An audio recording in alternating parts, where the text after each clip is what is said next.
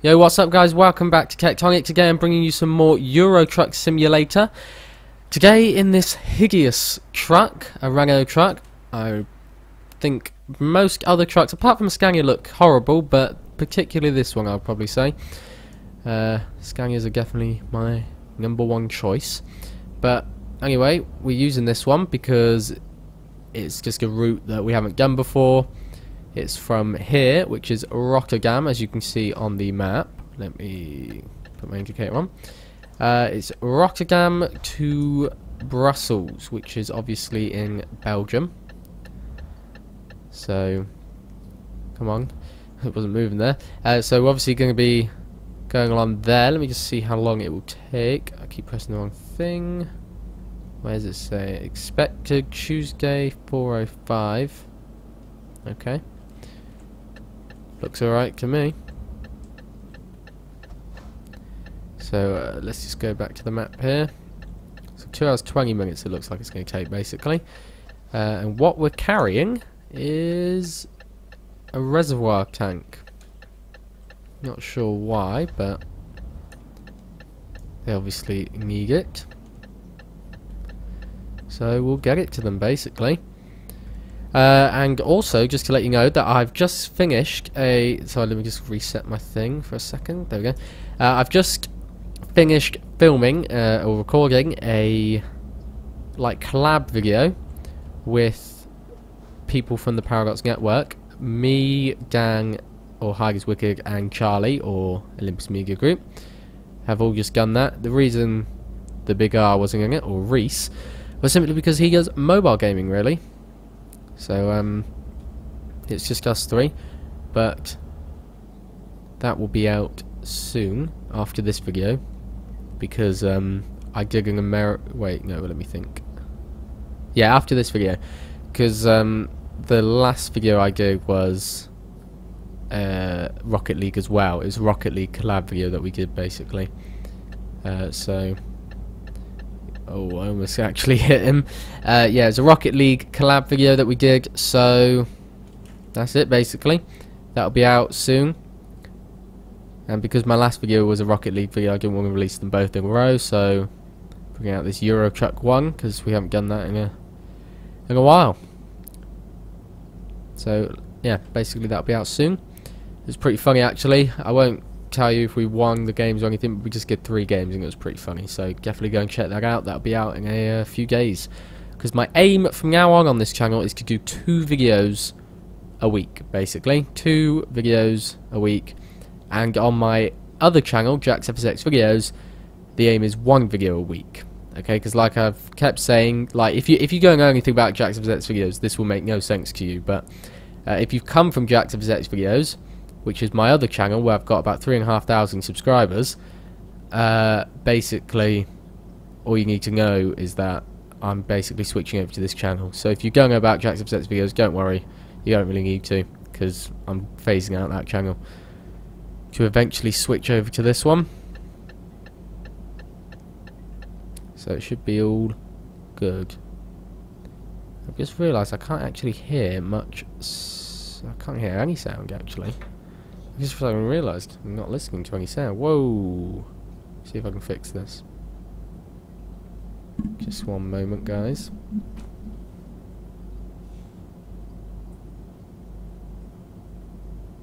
Is that the sound? I can't really tell. Yes, that's definitely it. I can hear it now. I just wanted to check because I could just hear this like a constant sound. I didn't know if it was just like my speakers or something. But we're good, we can hear it now, so that's good. I didn't even mean to go in here, I was just adjusting my speaker again. Right, so that's it, right. Yeah, you have to stop, mate, sorry. Can't slow down this truck. And uh, if there's any games that you want, guys, remember you can always, um, always just message me or comment, which actually would be probably best. Just comment on, uh, on the video below if there's any games that you'd like me to play. Because I'd be more than happy to try them out. Especially if it's a cheap game. I wouldn't mind buying... I don't mind buying like cheap games or anything. If, if it's an expensive game, I'll only do it if like a few people ask. Oh, is that new? Is that new, that sound, where you're going to the... Like, edge of the carriageway? Oh. Not doing it there. But, I know they have those in real life, but I've never noticed it on this game, on Euro Truck.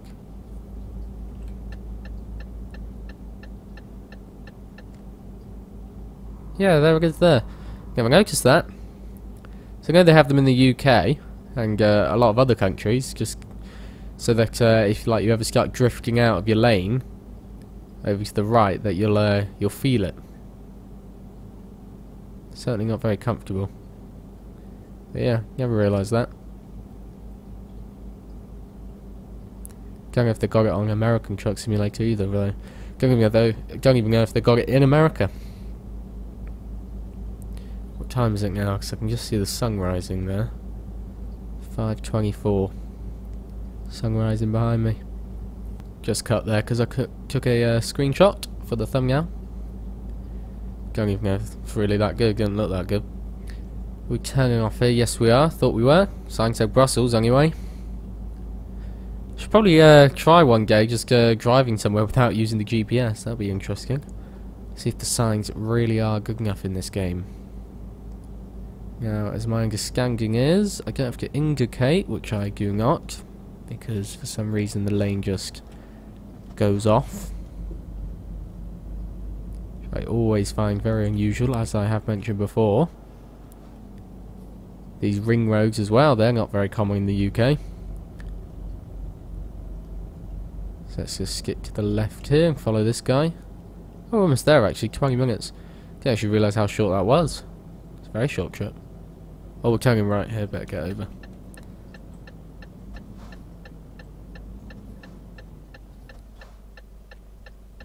Alright. Come on.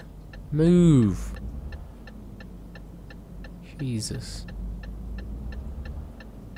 See, it's weird. Like, as I was saying in the American Truck Simulator video, that I started learning to drive in real life, it's actually quite weird then driving in a game because I actually do check my mirrors and stuff like you're meant to in real life, you know, when you indicate right, that whole uh, mirror signal maneuver thing. Obviously you've got to do that in real life, and then I've just actually noticed that I'm doing it a lot more in this game. Because before, you know, you just do it just, just to be like realistic so that you make sure you wouldn't crash or anything. I mean, there's not even any cyclists on this game. That's the only reason you would check your uh, right mirror if you're turning right. So, uh, yeah, it's just a force of habit now, I guess. But anyway, we're here now. Just about. Didn't actually realise how short that would be. Okay, put a bunch of big poles in the way. E acres. Alright, that's what we've got to park into. I gotta say that I definitely think the the like the challenges that they give you for parking in this game are so much easier than parking an American Truck Simulator. I mean, they like really push you to the limits. I mean, I know it's probably easy for the people who play this game a lot, but I certainly don't play this game a lot. I mean, look at me, I'm going all over the place right now.